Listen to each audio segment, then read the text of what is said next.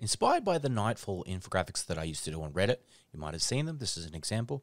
We're going to be doing GM guides. We're going to show you the shields, the damage types, and the enemies you encounter.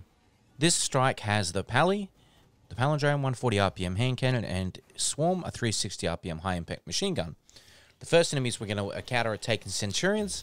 They have arc shields, they do arc damage. Be careful of those balls. Psions are throughout the strike. These multiply and also do a knockup. Be careful of them. The damage of their melees will be increased. The Unstoppables throughout this strike. Keep your distance as best as you can from them. There is a few Ravenous Taken Phalanxes throughout the strike too. Watch out for those shields. If you don't do the cheese here of killing the bubbles in the wrong way. Some overload hobgoblins, taken thrall, and normal hobgoblins as well as taken captains will all spawn here.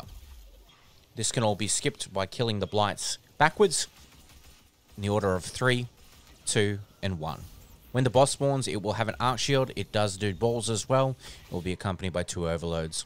The Taken X Sanguinator will destroy you with his bubble. Be careful of that. Vandals will destroy your life if you do not have proper resists. Be very wary of their one-shots.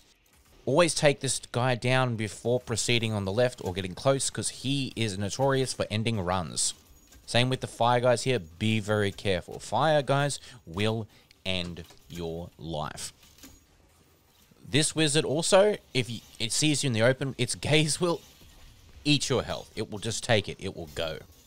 On the boss, it doesn't have a shield, but if you don't kill it quick enough, there will be ads that spawn around in the arena. There'll be knights and also psions.